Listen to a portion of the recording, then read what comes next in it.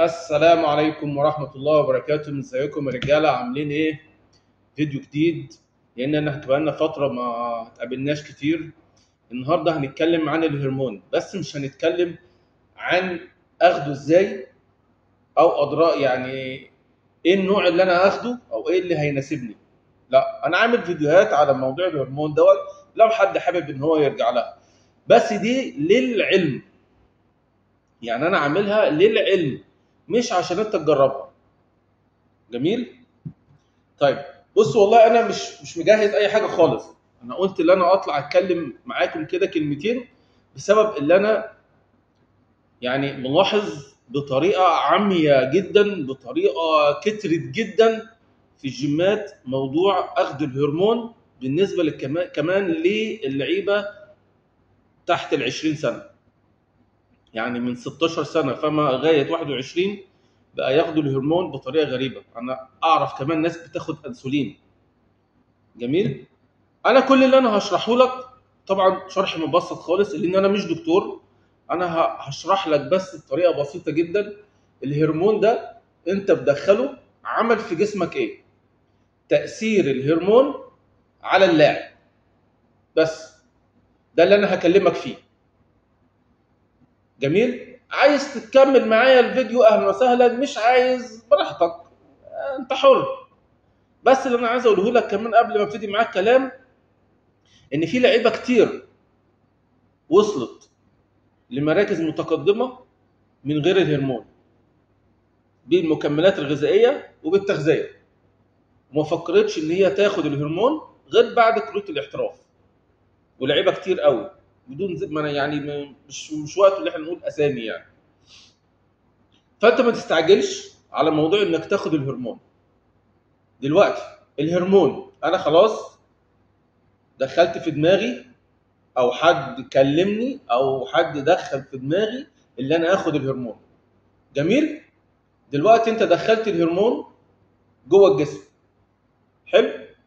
هيبتدي يعمل إيه الهرمون؟ أول حاجة بيعملها الهرمون إن هو بيوقف إنتاج التستوستيرون أو الهرمون الطبيعي هرمون الذكور جوه الجسم.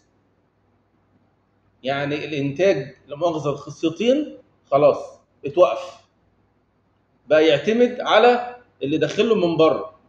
اللي داخل من بره طبعا بكمية الله أعلم إذا كنت أنت واخدها صح ولا لأ دخلت بالكمية دخلت ناحية الخلايا العضلية فعملت لك البامب اللي انت شايفه. طبعا هرمون من غير تغذية يبقى كأنك يا أبو زيت ما غزيت من الباب العلمي بالشيء. هرمون لازم تغذية كويس لازم نظام تدريب كويس. لازم مدرب محترم. مدرب فاهم. مش مجرد واحد واقف في جيم. لأن إحنا بنشوفها كتير. بالذات في موضوع الهرمون ده.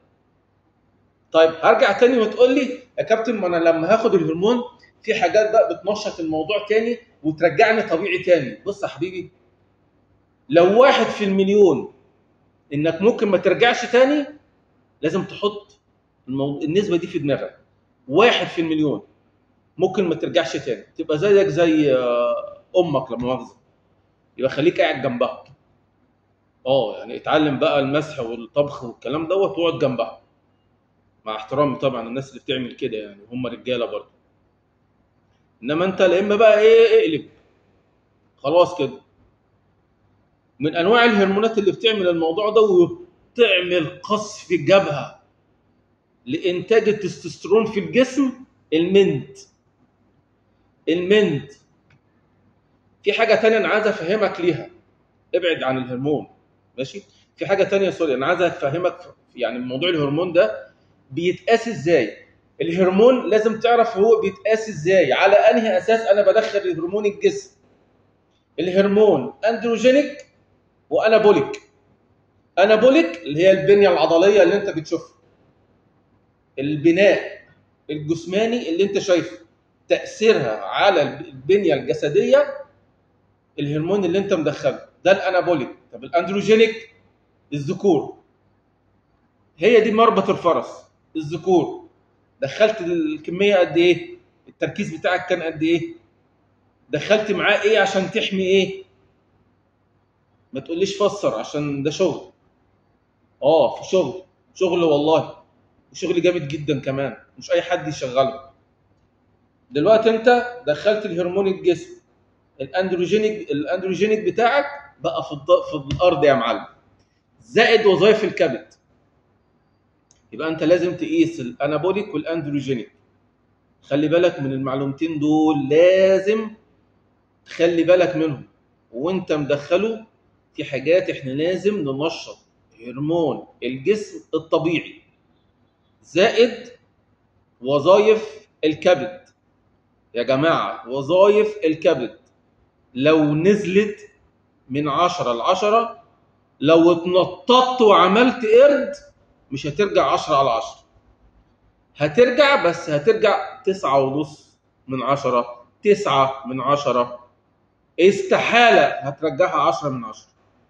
إلا بقى في أمور تانية الله أعلم بيها.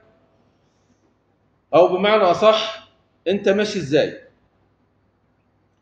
دخولك الهرمون. يبقى أنت لازم تعرف إن الهرمون أنت هتدخله هيوقف التستوستيرون الطبيعي في الجسم أو إنتاج الهرمون الطبيعي في الجسم. تاني حاجة إن هو هيقلل وظائف الكبد. جميل؟ تالت حاجة لازم تعرف إنك وأنت مدخل الهرمون لازم يبقى فيه ماشي معاه حاجة تحمي الإنتاج الطبيعي بتاعك. زائد بتدخل حاجة تانية معاه لوظائف الكبد. يا جماعة لعبة الهرمون دي مش لعبة عادية. في ناس اتأذت كتير. وفي ناس ماتت. والله العظيم في ناس اعرفها ماتت. مش من الهرمون. الهرمون ما بيموتش. عشان يكون على علم على الناس. ما بيموتش. بس بيموتك وانت حي. وانت حي كده قدامنا ميت. اولا لا إما زي ما قلت لك كده بيمنع تماما إنتاج التستوستيرون لا إما وظائف الكبد عندك بتبقى زي الطين. إيه اللي بيموت؟ الأنسولين اللي إحنا شايفينه كتير الأيام ديت مع الشباب والعيال الصغيرة اللعيبة الصغيرة أنا آسف لا إما مضارات البول اللي بيجي ينشف اللي بيجي يعمل عملية تنشيف قبل البطولات. يا جماعة خلي بالكم من عمليات التنشيف مش أي حاجة يقول لك عليها المدرب تقوم واخدها ومبلبعها. المدرب ده مش دكتور المدرب ده جرب على واحد واثنين وثلاثة وأربعة وعشرين وألفين وألف ومليون لغاية ما وصل للمرحلة اللي أنت شايفها.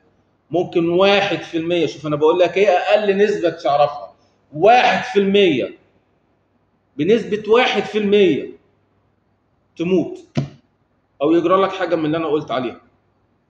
خلي بالكم يا جماعة وبلاش تهور من موضوع الهرمون دوت. لا إما تاخده مع واحد بيفهم. ويا سلام لو كان دكتور. ده يبقى أحسن. وفي حاجات كتير محفزة للتست غير الهرمونات. أكيد كل حاجة غلط اللي بتخش بس أقل ضرر. خلي بالكم من نفسكم يا رجالة ويا رب تكونوا استفدتم من الفيديو. أشوفكم على خير.